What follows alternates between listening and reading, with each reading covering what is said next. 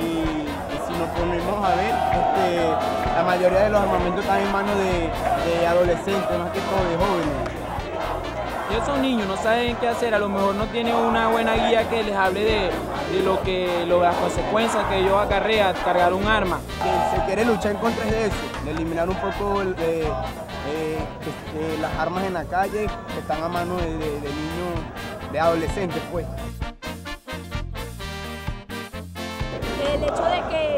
Estamos en contra del maltrato, tanto psicológico y físico, que se ha venido proyectando a la mujer y al género en general.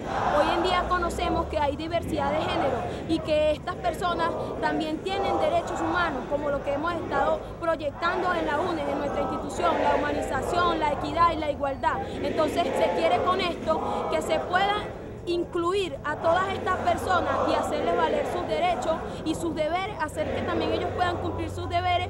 La ley de desarme tiene relación con los derechos de la mujer debido a que si hay menos armas en los hogares, menos armas en las calles, que los hombres puedan penetrar, de tener esa, ese uso de esas armas, este, ellos van a, a el hecho de que la mujer pueda sentirse amedrentada, porque si el hombre es violento y tiene uso de armas, va a ser más violento, esto va a crear más agresión.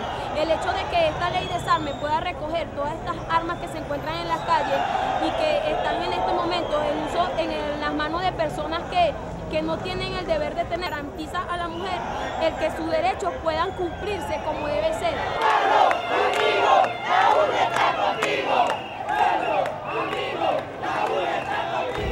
Y estamos hoy marchando aquí todos contentos, todos alegres, porque estamos es luchando porque haya una Venezuela sin armas, una Venezuela que, que, votemos por la paz, que la paz sea la que, la que conviva con nosotros y por supuesto no al miedo, no, no, no debemos tener miedo en decir que no a las armas, por desarmar a, a, a nuestro pueblo, por las policías también eh, guarden esas armas y queden para el recuerdo de, nuestra, de nuestra historia, porque no podemos obviar nuestra historia.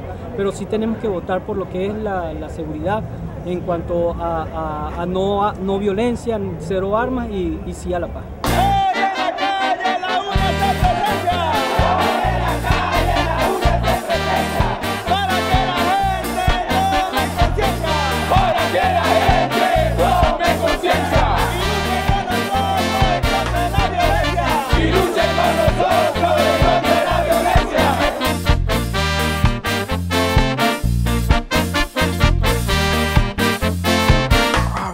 La calle nos da voz, rostro y nombre. Aquí habla el pueblo.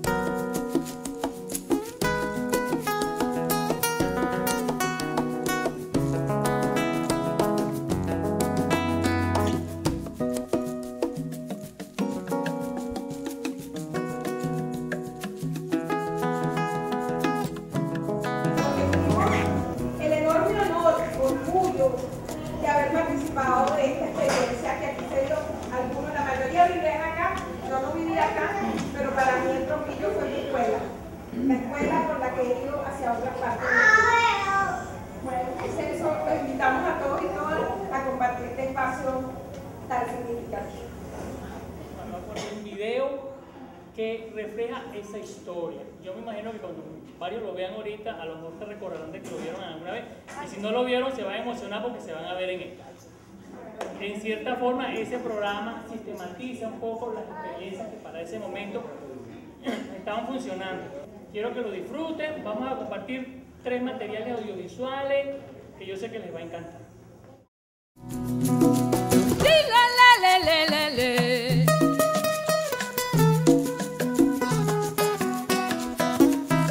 La tinaja, las raíces, donde tenemos una proyección de 22 años. Empezamos con galletas caseras, galletitas con quesito. Eh, teníamos una casa donde, bueno, teníamos una cocina. La tinaja fue creada con un fin y el fin era eh, que las mujeres no tuvieran que dejar sus hijos y sus casas solas por mucho tiempo para salir a trabajar fuera.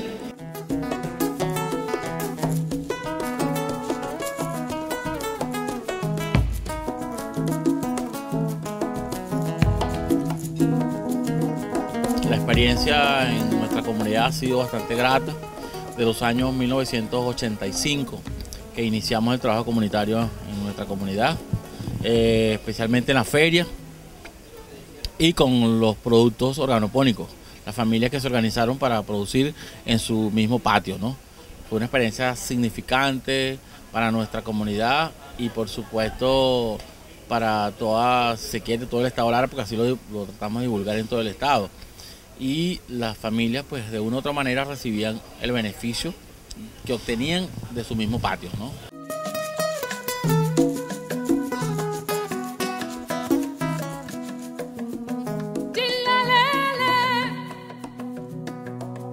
El Comité de Salud se formó en el año 1987.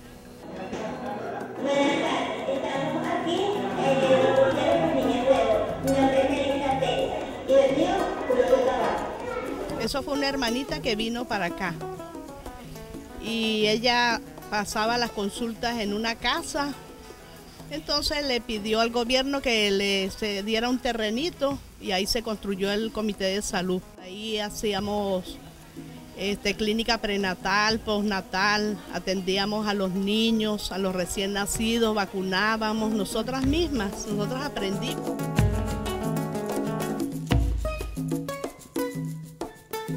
Eh, habían problemas que nadie le daba respuesta a la comunidad y decidimos organizar un pequeño periódico donde la, gente podía reflejar eh, eh, o comunicar hacia afuera lo que estaba sucediendo. Lo que siempre hemos dicho, la voz de los, sin voces. Entonces se organizó el trompillero. La experiencia de aquí en el trompillo ha sido, principalmente nuestra escuelita de vida. Ha sido un redescubrirnos como hombres y mujeres a través de otros. Ha sido un descubrir nuestras capacidades, dones, talentos, nuestras potencialidades en relación al comité de salud, la taguarita, el sistema que ahorita tenemos, el socialismo, nos está permitiendo la participación, la organización, yo creo que el protagonismo del, poder popular, yo creo que podemos nuevamente retomar. Eh, y tenemos todavía espacio, tenemos la, estructura, yo creo que, y tenemos el acompañamiento, el acompañamiento de la organización popular de, del Estado y amigos, compañeros de lucha, eh, caminantes, eh, yo, creo que, yo creo que es necesario retomar organizar y avanzar.